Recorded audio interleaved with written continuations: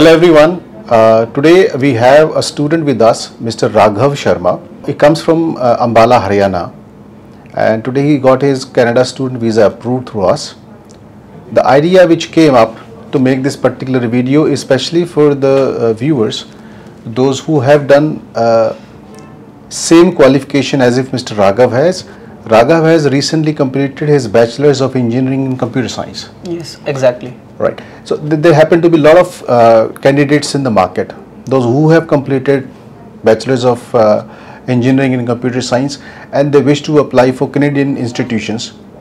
The the very question that they all have is regarding the programs.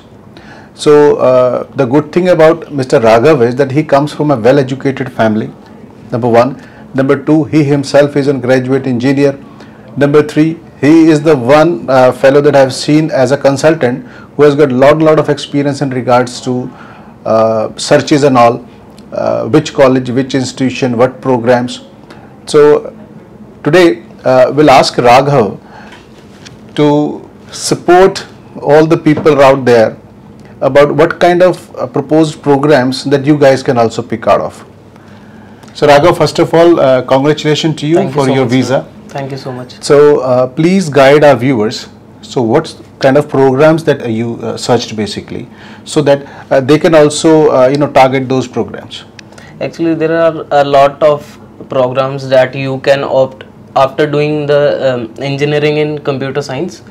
As uh, we have got a lot of uh, branches in it, we can say like uh, programming and software testing. Um, if I tell about my case, then I thought uh, that software te- uh, testing would be the easiest topic for me to opt, and I will not face any difficulty in it.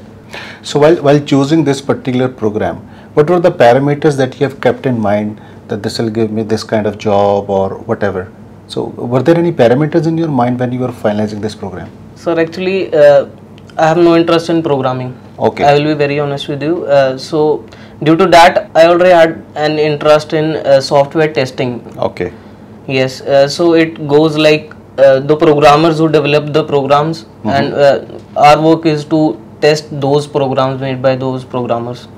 Okay, so you so the the college you you, you have opted is Conestoga College. Yes. And the name of the program that you have is Uh, it is quality assurance uh, testing. Okay okay. So uh, let me come into the picture now. Uh, whatever students around there and uh, planning to uh, take up a course in Canada, uh, the possible availability of the courses are in cloud computing, and then you can have software testing as if Raghav had a program as such. Then it can be database management also, and then uh, you have program related to gaming also. Then you have programs related to app making also. Then you have related to uh, website and internet also. Then you have program related to artificial intelligence also. That's one of the upcoming program. Yes. So these are some of the programs which are on high demand, and uh, a lot of students uh, they have been opting out of these programs. Uh, along with this, if in case you have any question query in regards to picking up the program, which you can join easily and you have an interest in, and you wish to get consulted with us, whether that program is good for you or not, you can write to us or uh, you can fix an appointment with us while uh, on making us a call or you can send us on a WhatsApp. We'll provide in uh, online counseling and uh, with that counseling I think you'll be able to finalize the best program for yourself. Thank you very much for watching this video and in the end I thank Raghav for sparing his time and sharing his views to the students and if you have any question query please uh, write in the comment box below. Thank you very much for watching this video.